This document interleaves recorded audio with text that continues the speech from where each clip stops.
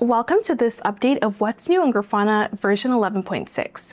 This release includes several exciting enhancements to dashboards, visualizations, alerting, and security. I'm Bacola, a developer advocate at Grafana, and let's take a closer look at these key updates. The first update is that Canvas one-click data links and actions are now generally available. Previously in public preview, this feature lets you open a data link or trigger an action with a single click. With this update, the one-click switch has been moved into the dialog box where you configure the data link or action at element level. But keep in mind, you can only have one one-click data link or action per visualization. So if you enable it for one element, it's automatically disabled for others.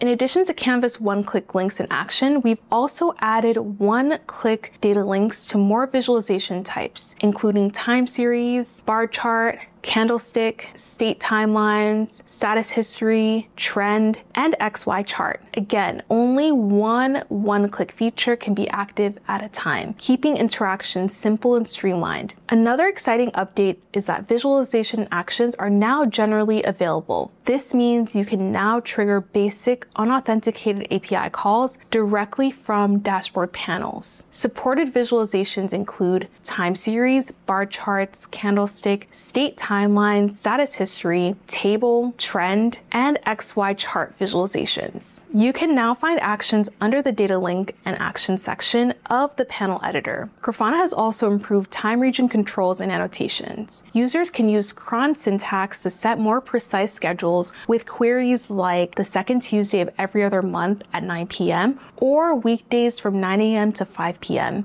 To try it out, create an annotation, toggle the advanced switch, and enter your cron-based schedules for even greater flexibility. We've also introduced a new action cell type for table visualizations. This allows you to trigger actions directly from table cells, making it easier to integrate external workflows right from a table column. Grafana has also improved GeoMap visualizations. Grafana now uses WebGL for marker layers, bringing huge improvements in speed and stability, especially when working with large datasets. Grafana has also extended support for dashboard variables for all transformations. Now all text input fields in transformation accept variable syntax, so when you dashboard variables in transformation, the variables are automatically interpolated before the transformations are applied to the data. Grafana managed alerts now include version history, which means you can view past versions of an alert, compare changes over time, restore previous versions if needed. Head over to any Grafana Managed Alert rule and click the version tab to check it out. Managing multiple data sources can sometimes be a challenge, especially when different teams need access to the same data. Grafana instances can become cluttered and confusing with hundreds of data sources. That's where LBAC